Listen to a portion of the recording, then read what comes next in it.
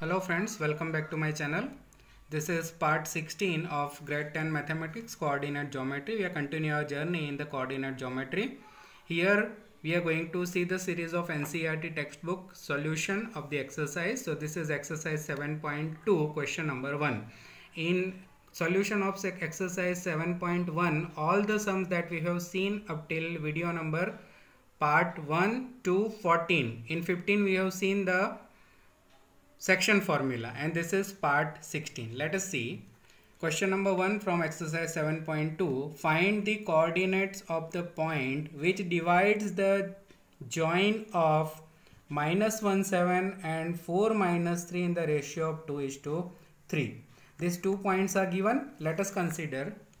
Let a point has the coordinate minus 1 and 7 and b point has the coordinate 4 and minus 3 which is given here minus 1 7 and 4 3 we have to find out the point which divides this in the ratio of 2 is to 3 2 is to 3 is the ratio. So we'll write it here.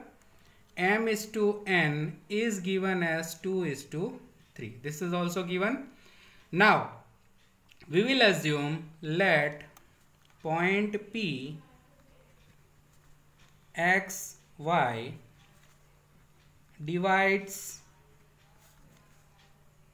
line segment AB that is containing A minus 1 7 and B 4 minus 3 in 2 is to 3 ratio from point A side.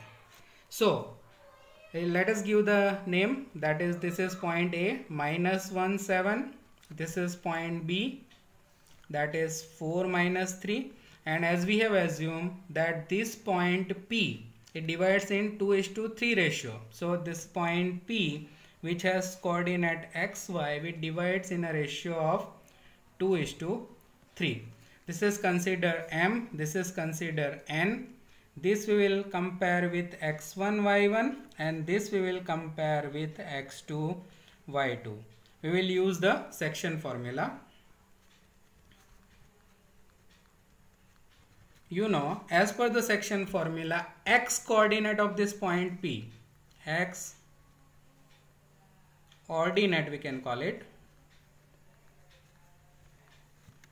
of point p that is equal to we know the formula that I'll write it here. X is equal to mx2 plus nx1 upon m plus n.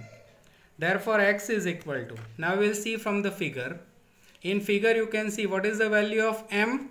You can see m is equal to 2 so I will write it 2 what is x2 you can compare it here. X2 is equal to 4 into 4 plus n x1 what is the value of n? n is equal to 3 3 what is x1 x1 is equal to minus 1 minus 1 upon m plus n. m is equal to 2 and n is equal to 3 2 plus 3 therefore x is equal to 4 to the 8 here plus minus will turns to minus 3 1 za 3. Here 3 plus 2 is equal to 5. Here you can see 8 minus 3 is equal to 5. 5 by 5 will cut it it is equal to 1. So x is equal to 1. We got the x coordinate of point P. Similar way y ordinate of point P y is equal to again I'll use that is my2 plus ny1 upon m plus n. As per the formula, let us see. m is already, we have taken 2. What is y2? You can see y2 is equal to minus 3. So, I will write it here. Minus 3 plus n, n is equal to 3.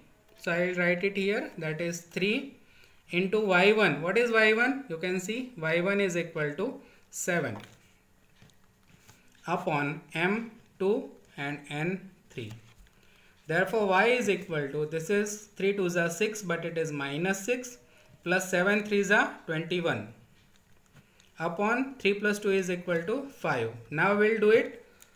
The summation that is minus plus 21 minus 6 plus 21 that is equal to plus 15 15 upon 5 we'll cut it 3 therefore y is equal to 3 we got the x ordinate and y ordinate of point p. What has been asked? Find the coordinate of point p which divides the joint in ratio 2 is to 3 so i'll write it answer. Point P that is x ordinate is 1 and y ordinate is 3.